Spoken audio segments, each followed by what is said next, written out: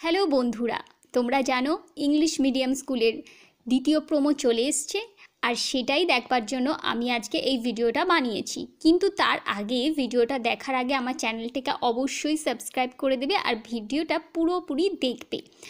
আমরা কয়েকদিন ধরেই দেখছি যে ইংলিশ মিডিয়াম স্কুলের প্রথম প্রোমোটা সেখানে দেখাচ্ছে যে গ্রামের মেয়ে ইন্দিরা, সে পড়াশোনায় কিন্তু খুবই ভালো। কিন্তু সে ঠিকঠাকভাবে একটা চাকরি জোগাড় করতে পারছে না, অনেক ইন্টারভিউ দিচ্ছে। সে গ্রামের সমস্ত বাচ্চাদের বিনা খরচেই পড়াশোনা করাচ্ছে। কিন্তু তার অনেক স্বপ্ন কলকাতায় গিয়ে ভালো স্কুলে পড়াবে। অনেক ইন্টারভিউ দিয়েছে, ইন্দিরার অনেক দক্ষতা আছে, কিন্তু বাংলা মিডিয়াম স্কুলের জন্যই সমস্ত কিছু উপযুক্ত ইংলিশ মিডিয়াম স্কুলের জন্য নয়। এবার আমরা দ্বিতীয় প্রমোতে কি দেখতে চলেছি? কলকাতার বড় বড় স্কুল থেকে ইন্টারভিউ লেটার এসছে ইন্দিরার জন্য। কিন্তু তার মামি তাকে অনেক উপেক্ষা করছে যে সে এই ইন্টারভিউতে পাশ করতে পারবে না। এদিকে ইন্দিরার অনেক স্বপ্ন কলকাতায় গিয়ে ইন্টারভিউ দেবে। সিরিয়ালের অপর দিকে আমরা দেখতে পাচ্ছি নীল ভট্টাচার্যকে। নীল ভট্টাচার্যকে আমরা আগে অনেক সিরিয়ালেই দেখেছি।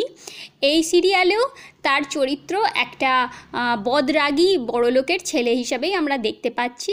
কোনো এক ইংলিশ মিডিয়াম স্কুলের কর্ণধার হিসাবে দেখতে পাচ্ছি। এখানে তার দিদির চরিত্রটাও যথেষ্ট গুরুত্বপূর্ণ। নীল ভট্টাচার্য স্কুলের থেকেই ইন্টারভিউ লেটার গেছে ইন্দিরার কাছে। ইন্দিরা সেই স্কুলে আসবে এবং সেখানে ইন্টারভিউ দেবে। প্রথমে নীল ভট্টাচার্য আর তার দিদি অনেক হেও করবে, নিতে চাইবে না, যেহেতু সে বাংলা মিডিয়ামের জন্য উপযুক্ত। কিন্তু এমন কয়েকটি সমস্যার মুখোমুখি হবে তারা যে ইন্দিরাকে তারা ক্লাসরুমে পাঠাতে বাধ্য হবে। সেখানে ইন্দিরা তার সমস্ত দক্ষতা দিয়ে সমস্ত স্টুডেন্টের মন জয় করবে। এই গল্পে আরেকটি টুইস্ট আছে, সেটি হচ্ছে আমরা দেখতে পাচ্ছি একজন বয়স্ক মহিলাকে যিনি নীল ভট্টাচার্যের হয়তো ঠাকুমা হয়েছে, সে এই ইংলিশ মিডিয়াম স্কুলের সবথেকের উঁচু মাথা। এটা আমার তরফ থেকে আমি বলছি হয়তো হতে পারে।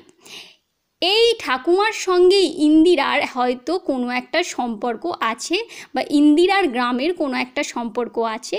এখানেও টুইস্ট আছে। যদি পরের প্রমোতে কিছু দেখায়, আমি অবশ্যই আপনাদের বলব।